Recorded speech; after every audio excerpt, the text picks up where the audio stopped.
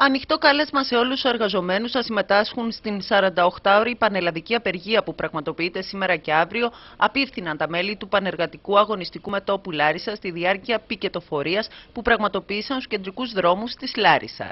Πραγματοποιούμε αυτή την απογευματινή πικετοφορία ακριβώς για να απευθύνουμε πλατή κάλεσμα σε όλους τους συναδέλφους, σε όλο τον εργατό κόσμο της Λάρισας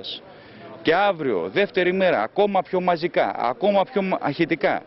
με περισσότερη αυταπάρνηση, να στηρίξει αυτήν την απεργιακή κινητοποίηση